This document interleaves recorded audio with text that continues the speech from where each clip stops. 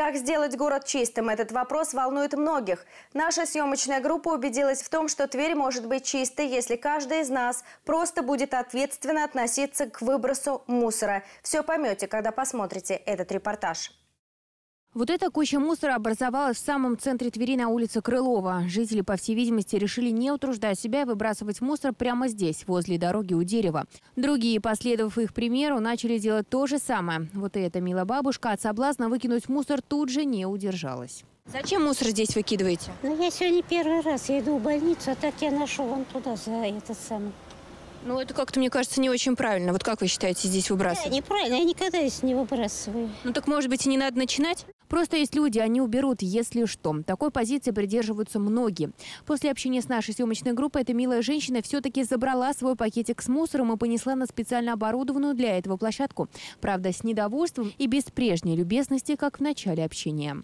Меня фотографировали. Мусорная проблема в центре города не нова. Пакеты с отходами здесь можно найти как грибы в лесу, у жилых домов, столбов, за углами. Но почему? Ответил на этот вопрос председатель административной комиссии Твери. Причинами и условиями, которые способствуют адми- совершению административного правонарушения, как показывает практика, являются, во-первых, э, ненадлежащая организация работы ряда управляющих компаний, связанных с тем, чтобы организовать надлежащим образом сбор э, коммунальных отходов, непосредственно возникающих у жителей многоквартирных домов, за что данные лица также привлекаются к административной ответственности. В ряде случаев э, субъекты предпринимательской деятельности не всегда ведут себя добросовестно и не всегда оборудуют входные группы у зданий, которые им принадлежат, в которых они осуществляют свою деятельность, урнами, предназначенными для сбора мусора. Но все же это заключение жителей не оправдывает и не освобождает от ответственности.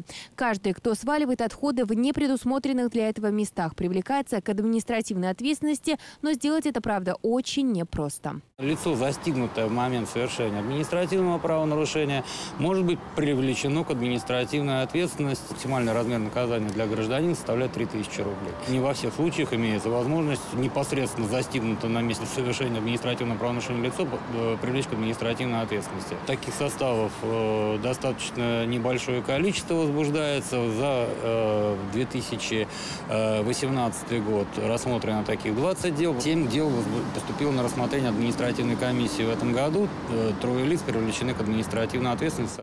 А ведь потом многие, среди них и те, кто выбрасывает мусор где попало, сокрушаются. Какой же у нас грязный город. Задумаемся, а почему? Давайте честно признаем, что мусор – проблема, которая все еще не решена только потому, что мы сами ссорим. Вывод один. Если вы хотите жить в чистом и ухоженном городе, надо прежде всего начинать с себя, не выбрасывать мусор где попало. А делать это на специально отведенных для этого площадках, коих в городе немало. Давайте вместе сделаем Тверь чистой.